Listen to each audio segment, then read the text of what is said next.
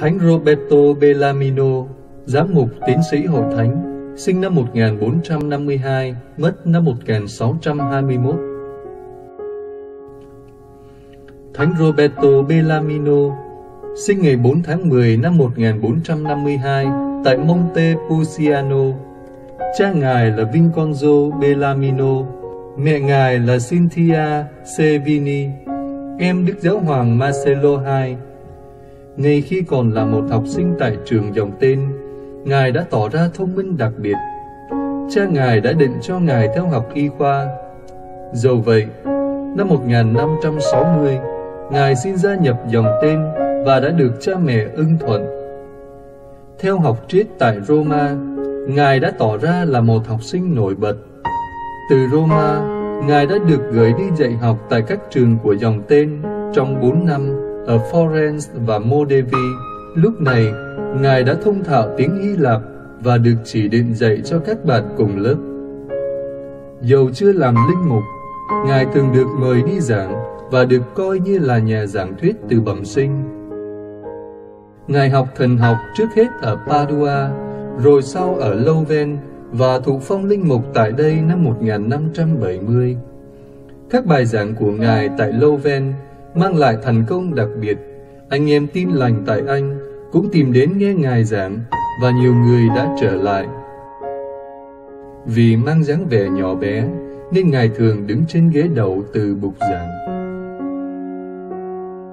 Là giáo sư thần học tại Louvain, Ngài rất mộ mến các tác phẩm của Thánh Thomas.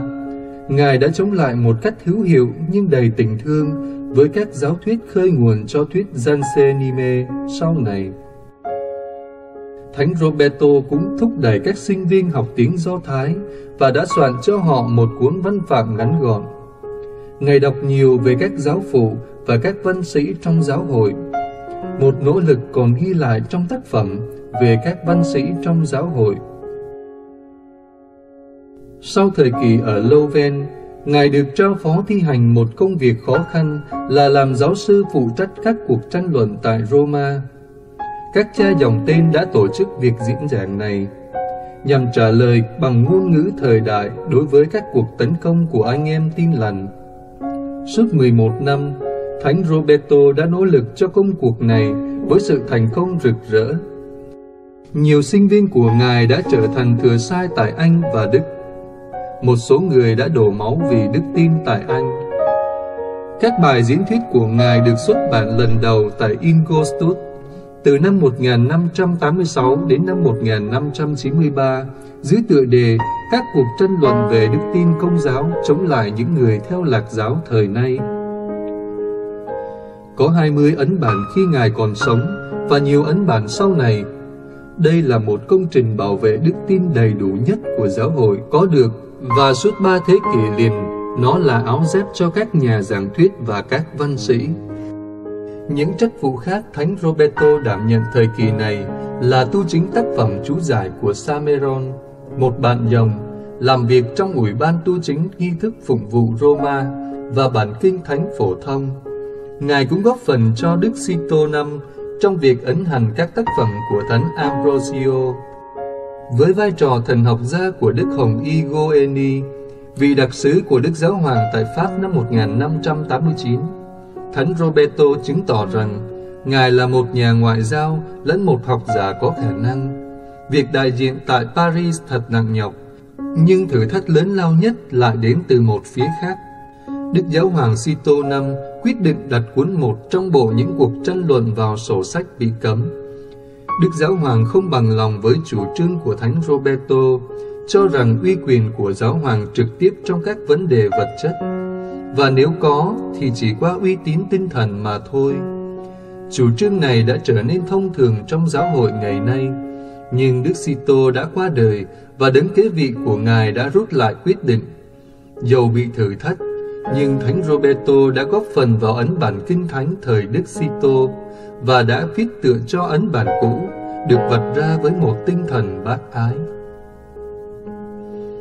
Thánh Roberto liên tiếp làm cha tinh thần và viện trưởng của Học viện Roma, rồi làm bề trên tỉnh dòng Naples.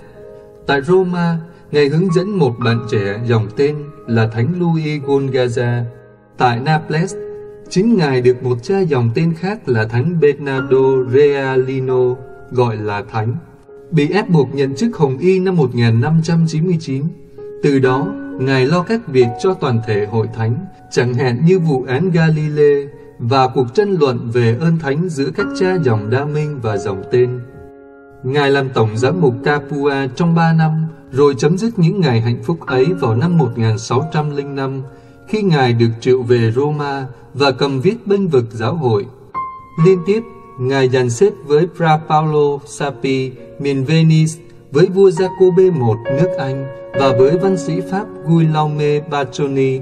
Thánh Roberto qua đời ngày 17 tháng 9 năm 1621, được phong thánh năm 1928 và được đặt làm tiến sĩ hội thánh năm 1931.